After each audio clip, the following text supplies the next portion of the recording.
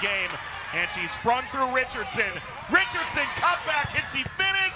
Save. Excellent from Hart. Orange Beach. The only time since they got rid of divisions where that's been the case, that the team finished last and turned it around. Whitaker lashing this wide of the post. There's a little bit of juice right now on this Auburn bench. Everybody left up in unison.